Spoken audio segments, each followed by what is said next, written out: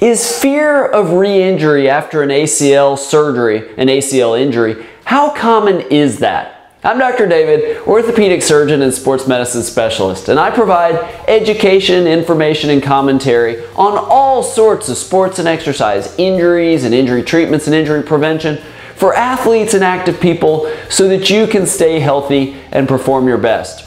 In my book, That's Gotta Hurt, The Injuries That Changed Sports Forever, I write a couple of chapters about ACL injuries. One about uh, New York Knicks star Bernard King and how that ushered in a new era of returning to sports after ACL injury. And I talk about Brandi Chastain and the U.S. women's national soccer team and all the ACL injuries in female athletes. But one of the themes of both chapters is how hard it can be to get back to sports. And one of the reasons for that is fear of re-injury. And I, I address that uh, in both chapters, and I think it's really, really important. Uh, so I want to talk about it here. Uh, yes, that's true with really any injury, but there's something specifically about ACL injuries that getting over that can be really difficult.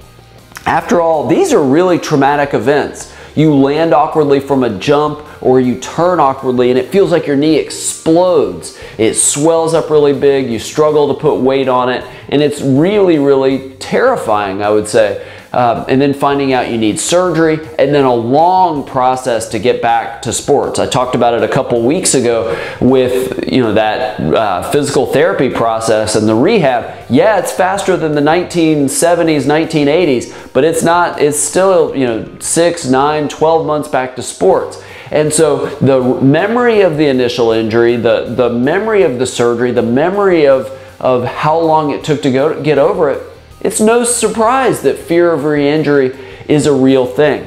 Now, there's not necessarily an easy way to get over it. I think the biggest thing for orthopedic surgeons that are doing these surgeries and following the patients after surgery, as well as the physical therapists that are rehabbing the patients, is to recognize it to talk to the patients, ask questions. If you're a patient dealing with an ACL injury, talk to your doctor, talk to your physical therapist, and tell them some of these fears that you have.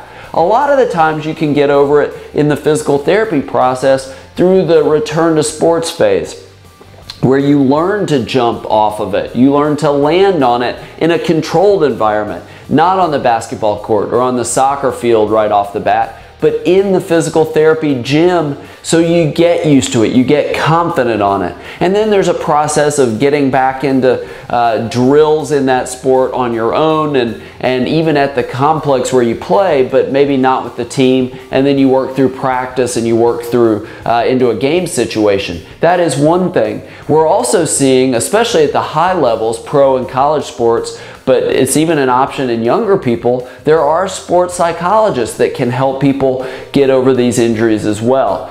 Who is likely to have a fear of re-injury versus who isn't? We don't really know. It's just something that can be really tricky. So again, message for you if you're dealing with that problem, tell your doctors, tell your physical therapist. And on the flip side, the doctors, the physical therapist, ask questions, look for it, and see if you can identify it and take steps to treat it before it really limits somebody and maybe they never get back to play after that injury again.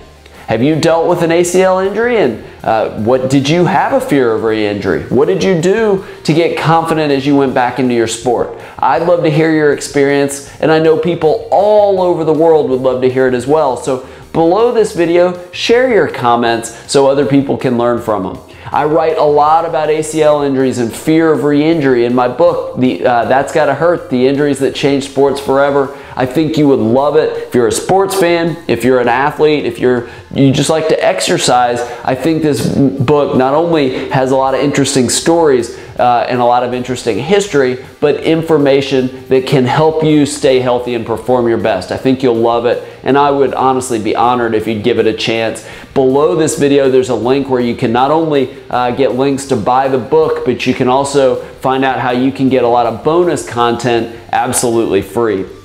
Thank you so much for watching. Remember, you can subscribe to my YouTube channel, click the button in the upper right corner of the page, and you'll get these videos delivered to you just on a regular basis, a couple times a week. Thank you for watching, and I look forward to seeing you right here next time.